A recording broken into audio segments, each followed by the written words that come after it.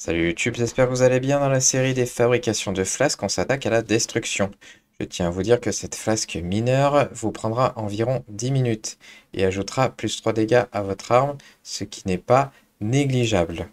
Dans un premier temps, le PNJ Layla se situe au port de Tentris. Ensuite, elle vous demandera 5 limétites, 8 crocs venimeux, 5 guimauves officinales et un cador.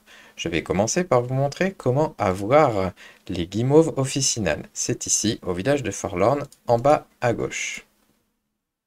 Pour pas que la vidéo soit trop longue, j'ai bien évidemment déjà commencé à farm le lait compo, donc il vous faudra un peu plus de temps. Ensuite, il faut aller juste à côté dans la forêt de bandits, tuer les araignées pour avoir les crocs venimeux. Une fois ceci fait, on termine donc par la limétite se situe dans la grotte au niveau du chef de gang.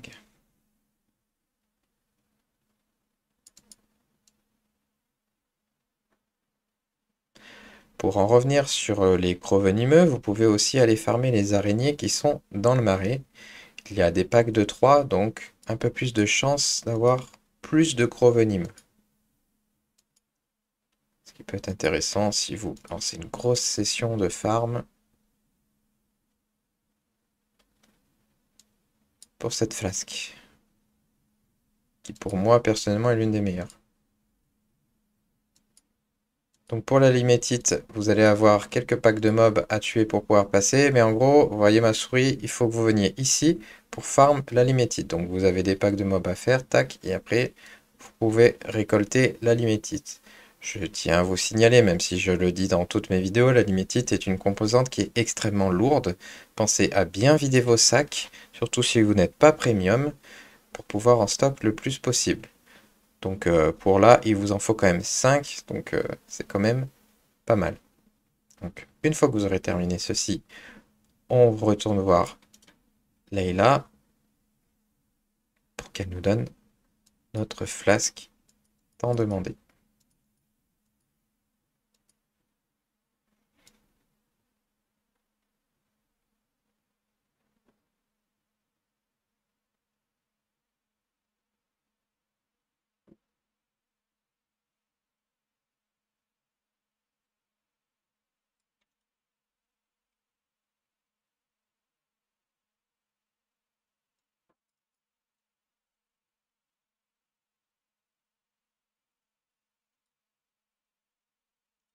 Et voilà.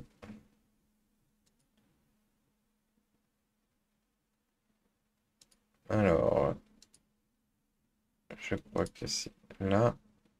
Et voilà, flasque de destruction. Si cette vidéo vous a plu et qu'elle vous a bien aidé, n'hésitez pas à laisser un pouce en l'air, à vous abonner pour les prochaines vidéos, un petit commentaire, ça fout toujours plaisir. Merci et bon jeu